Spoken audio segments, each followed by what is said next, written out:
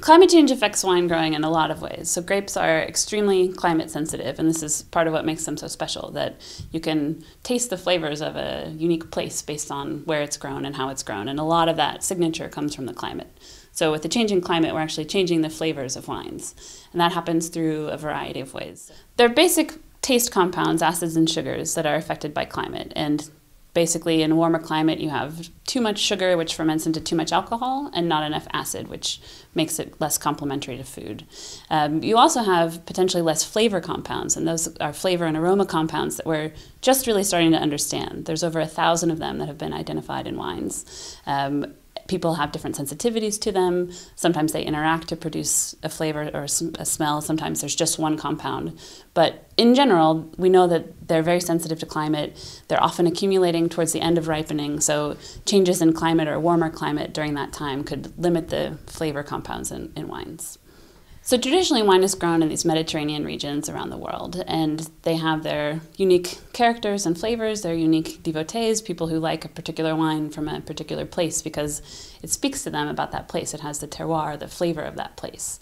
And one trend we've seen very clearly is that many wines around the world are becoming higher alcohol. So some of that has been linked to climate change. Some of it is also from preferences from winemakers and stylistic differences. But in places like Australia, it's been linked clearly to climate change. So warmer climates produce higher alcohol wines.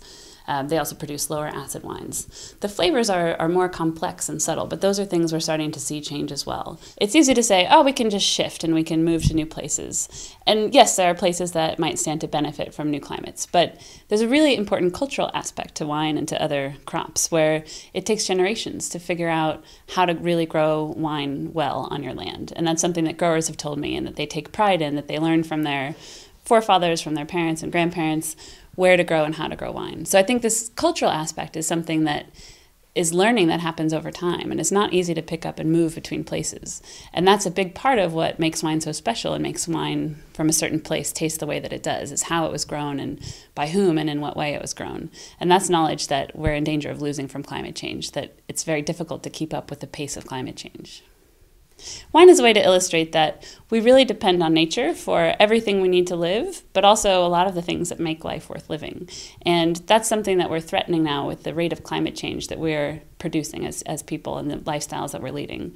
So we're at a critical point now to make better choices, and I'm really hopeful that we do that. I think we'll have a much safer, healthier, and more delicious planet if we can make some better choices.